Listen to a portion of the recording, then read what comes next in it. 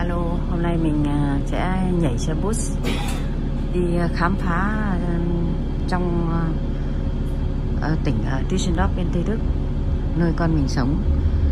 Mình các bạn cùng đi với mình nhé để xem uh, ngồi xe bus trong thời Covid như thế nào. Các bạn nhìn này, cái chỗ cửa buồng lái trên kia mà có cái tờ giấy đấy các bạn nhìn thấy không? Là trước đây là ta vừa kiểm tra vé và vừa bán vé. Nhưng bây giờ họ ngăn cách người khách hàng đi, họ chắn và không kiểm tra và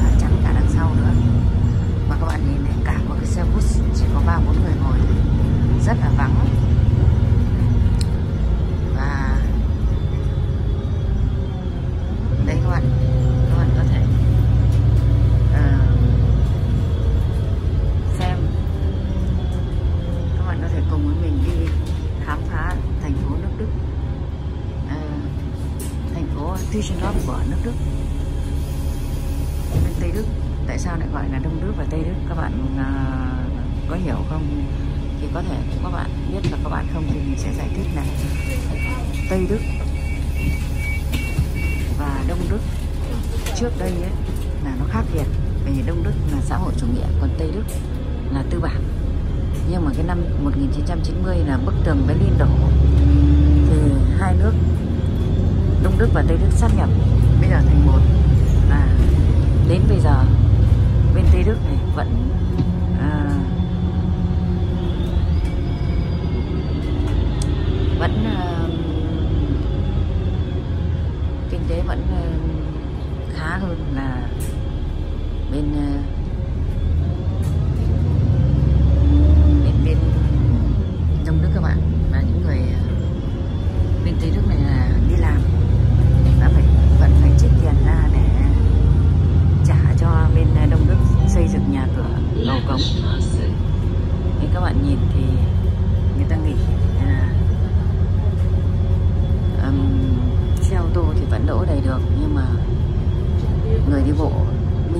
đi bộ ở bên Tây Đức này ở bên ờ, Đức Đức này.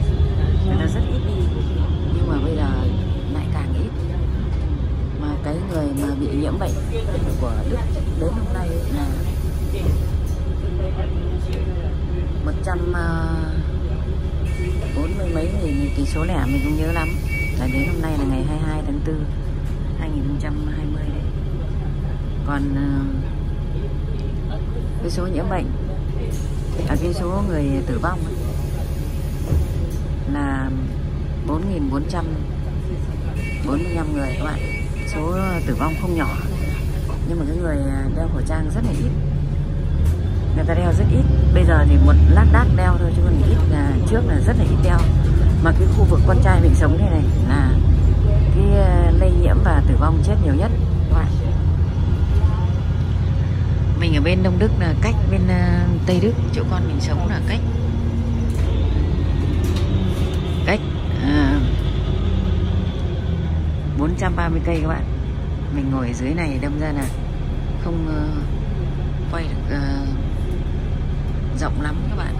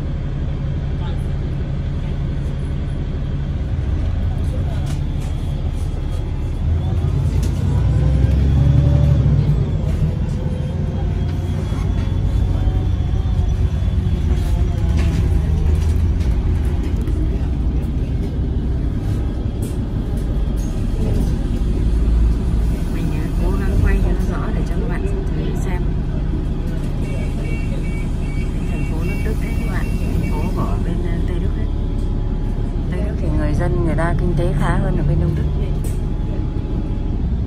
À, hôm nay là mình à, bất chấp dịch. Người ta hạn chế ra người ra đường nhưng mà mình à, bất chấp dịch. Mình đi quay để cho các khám phá để cho các bạn à, chiêm ngưỡng các bạn à, xem nước Đức nó như thế nào nó có khác nước khác và khác Việt Nam không? Dạ.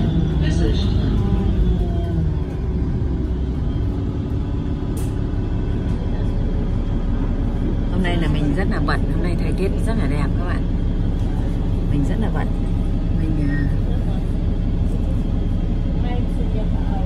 mình phải à, làm vườn để chuẩn bị trồng rau, dọn dẹp nhà con trai. Nó nó mua, nó sửa chữa chưa xong các bạn.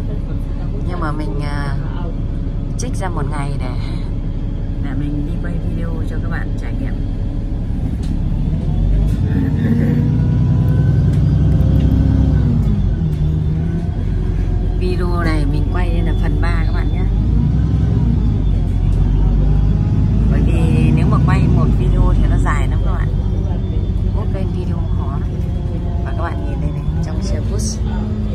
Vắng người ngồi.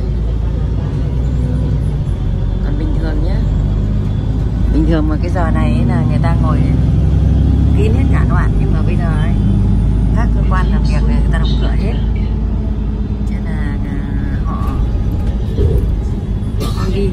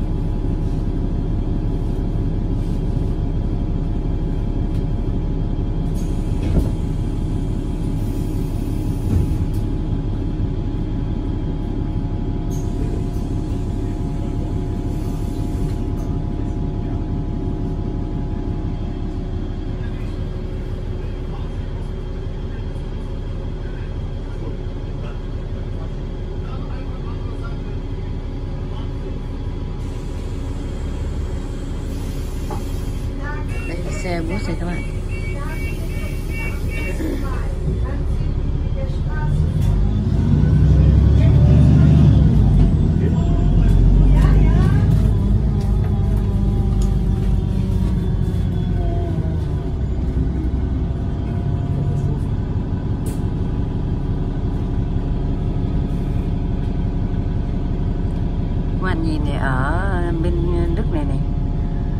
xe máy, xe đạp đi nhiều như ở Việt Nam. Mà chỉ có ô tô thôi. Xe máy có nhưng mà rất ít. Rất là ít các bạn. Trời rất là đẹp. Mấy hôm nay trời nắng đẹp lắm các bạn.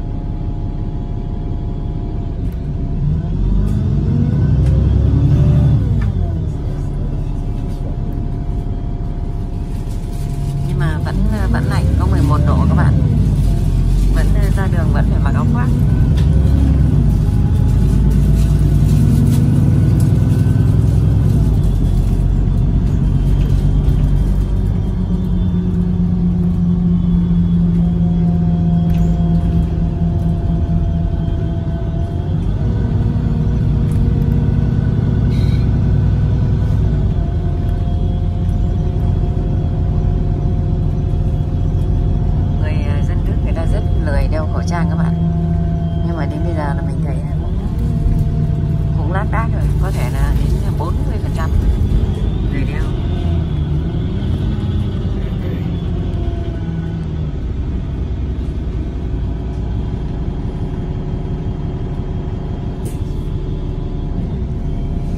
Nói hơi nhỏ các bạn thông cảm nhé. Tại vì là uh, đi đường mà mình ờ, nói to mình sợ người ta gị nhị mình là người nước ngoài vô ý thức.